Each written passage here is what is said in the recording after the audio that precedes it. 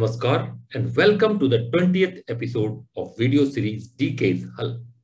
Kindly recall episode 3 of this video series wherein we have discussed that to achieve sustainability in agriculture and profitability from farming, we need to ensure effective management of resources.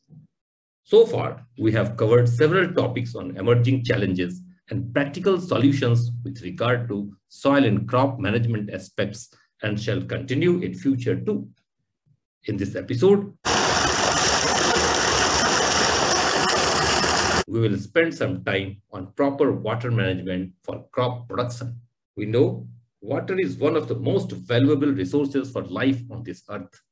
As regards plants, it directly influences photosynthesis, respiration, absorption, translocation, and utilization of nutrients and several other processes. In simpler words, water to plants is like blood in the human body. And therefore, its shortage, that is water stress, and excess adversely affects plants. The same as shortage and or excess of blood causes health issues in human beings, leading to untimely death to both plants and humans. You know, crops either depend on rain, that is rainfed, or are irrigated to meet their water demands.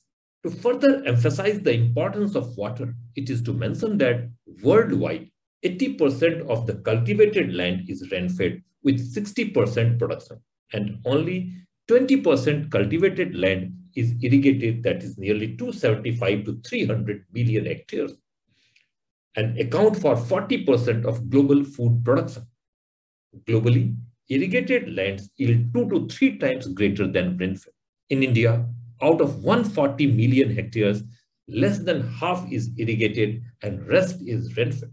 So to continue feeding the ever-increasing population, it is important to bring more and more cultivated land under assured irrigation. As per a UN report published in the year 2019, it has been predicted that by the year 2050, global water requirement will increase by 20 to 30%, and that in agriculture by 50% as per a FAO forecast.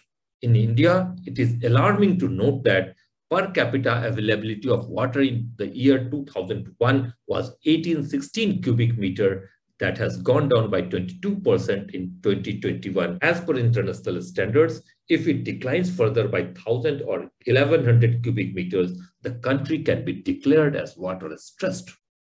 Here, it is relevant to mention that out of the total water demand globally, Industry and power generation account for 19%, household use for 12%, and remaining 69% for agriculture, including irrigation, livestock, and aquaculture.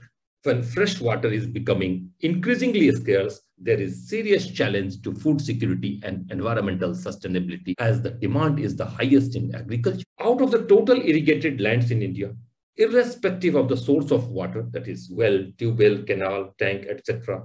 The most prevalent method is flooding, where the water use efficiency is hardly 30%. In contrast, there is 95% efficiency in the case of drip method.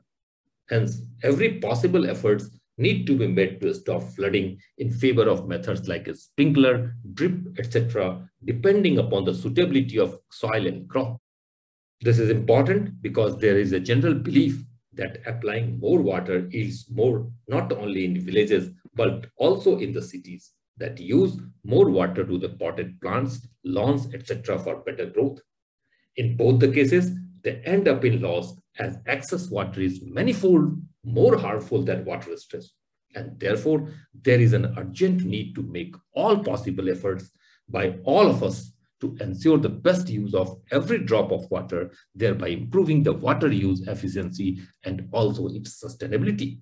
This is because crops normally use less than 50% of the irrigation water they receive, and the remaining water leads to waterlogging, salt imbalance, soil erosion, and ultimately rendering agricultural lands degraded and or unproductive. To avoid over-irrigating a crop, let us try to understand the water requirements of some major crops. It may change according to the seasons or soil types, but net requirement shall not change. Kindly refer to the series of tables to have a broad idea about some Kharif, rabi, summer, and perennial crops, and also the maximum number of irrigations needed at the critical growth stages. If there is rain during any season, less irrigation will be applied. The very first crop is paddy.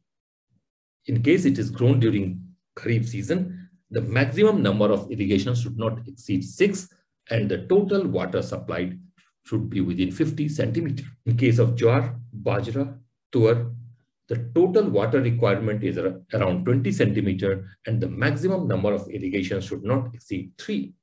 In case of maize, the maximum number of irrigation should not be more than 4, while in case of groundnut, chili, onion and vegetables, it should be within 5. Similarly, in case of soybean and sunflower grown during Kharif season, the total number of irrigation should not be more than 3.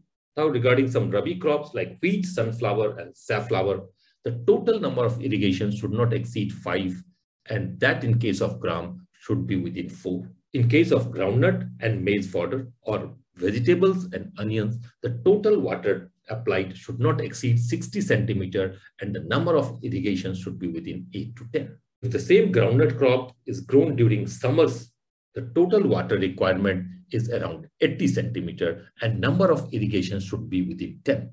While in case of sunflower, it is 60 centimeter and while in case of onion, the total water supplied should not exceed 70 centimeter in nine irrigations. As regards perennial crop, that is sugarcane, Adsali planting, if it is done during June and July, the total water requirement is 400 centimeter. Another perennial crop, that is banana, requires a maximum of 24 number of irrigations comprising of 240 centimeter of total water.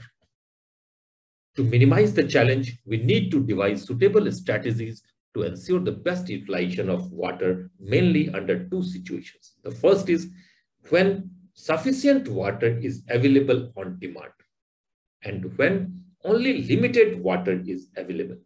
To repeat once again, our strategy must be in terms of cultivating only suitable crops, applying water when it is necessary, and using efficient irrigation methods to avoid flooding and or over-irrigating the crop. We are hopeful that with our collective efforts, we will certainly achieve more crops per drop with less environmental impact and conserve the most fertile topsoil against degradation. Thanks, like the video and subscribe the channel, share with friends and give feedback so that we can include new topics for further discussions.